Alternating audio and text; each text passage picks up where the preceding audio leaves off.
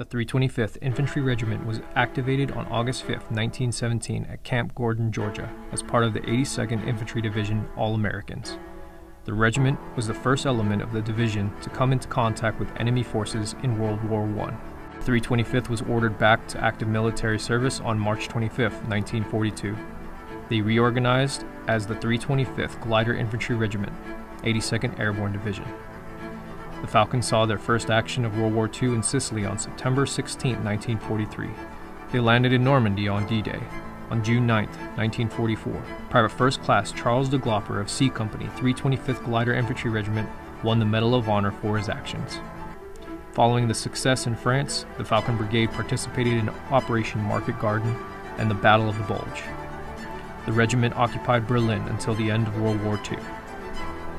In May of 1965, Falcon Brigade participated in Operation Power Pack in the Dominican Republic to establish a corridor to safely evacuate civilians. Later, the mission was that of peacekeeping and civil relief. October 1983. The 325th spearheaded the All American Division's assault of Grenada to rescue 138 American students that were trapped amidst a coup that threatened the stability of neighboring Caribbean islands.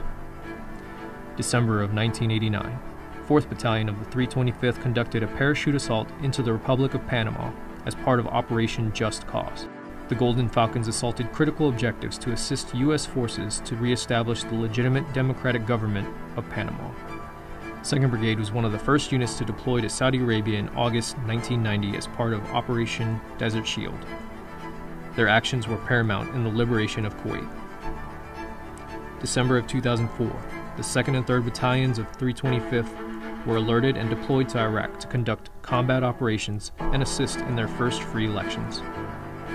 In July of 2005, 1st of the 325 deployed to Afghanistan, and the Falcon Brigade went on numerous combat operations to destroy insurgent forces.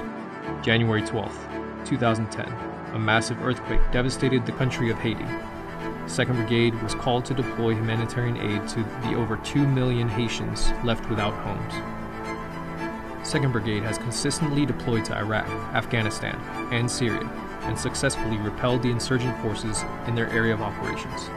Today, our mission is to, within 18 hours of notification, strategically deploy, conduct forcible entry parachute assaults, and secure key objectives for follow on military operations in support of U.S. national interests.